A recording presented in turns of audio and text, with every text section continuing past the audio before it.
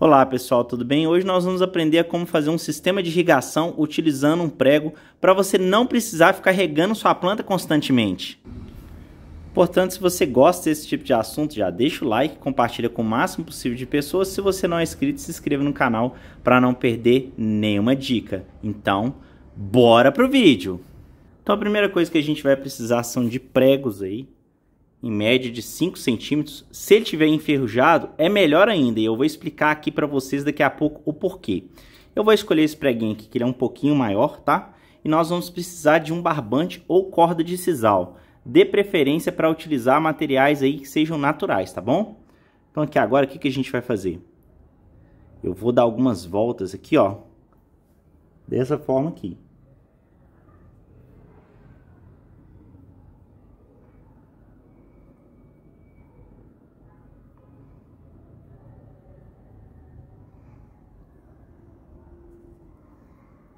Nós temos que deixar aqui mais ou menos em torno de 2 centímetros aqui no final, tá vendo? Então, o finalzinho aqui vai ficar com 2 centímetros mais ou menos. E agora a gente vai voltar enrolando agora no outro sentido, tá?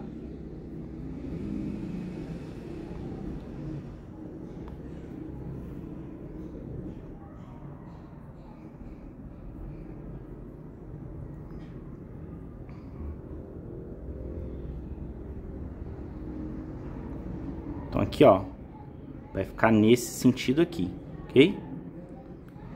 E nós vamos pegar aqui agora e dar um nó.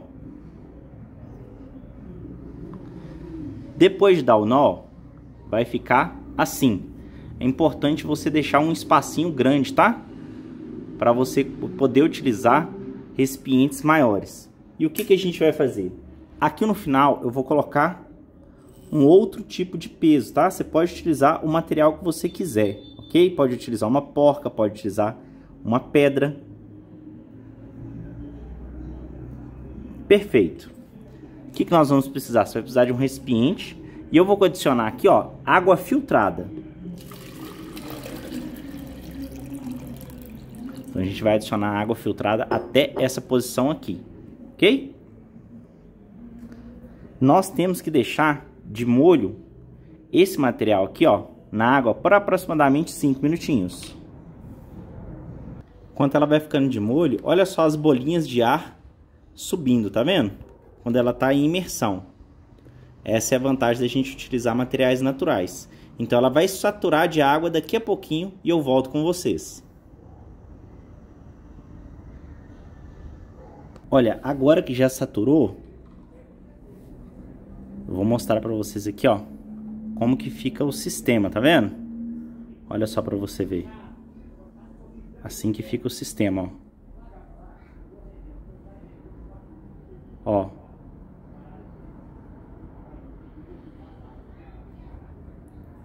Então agora para utilizar é muito simples. O que, que a gente vai fazer? Você vai pegar aí a sua plantinha, ok? Não precisa fazer muita força não. Você vai fincar aqui no substrato. Dessa forma aqui. O ideal é que não fique muito longe do recipiente de água. Mas, Márcio, como que a água vai passar daqui para cá? Vai passar através do processo chamado de capilaridade.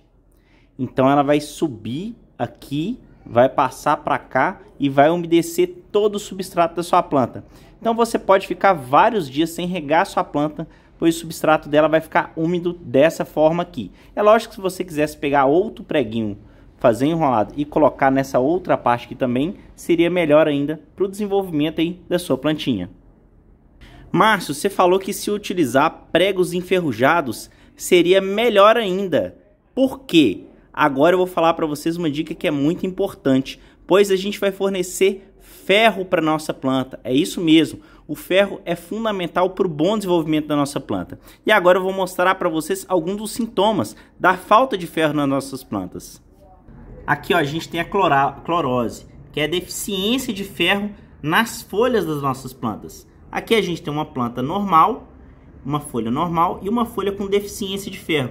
Então, utilizando os pregos aí, além de você irrigar sua planta, você vai fornecer ferro para ela ficar saudável e sempre bonita aí para você.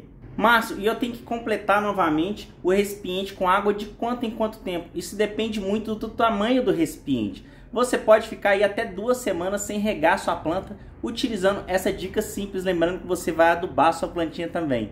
E se você está aqui comigo até agora, diga aqui para mim nos comentários eu quero, para me saber que você gostou dessa dica aqui e eu faça outros vídeos parecidos como esse aqui para você. Esse vídeo merece seu like, deixa o like, compartilha com todos os seus amigos e se você ainda não é inscrito aqui no canal, se inscreva e acione o sininho para não perder nenhuma dica. Então aquele abração para você, fique com Deus e até o próximo vídeo. Tchau, tchau!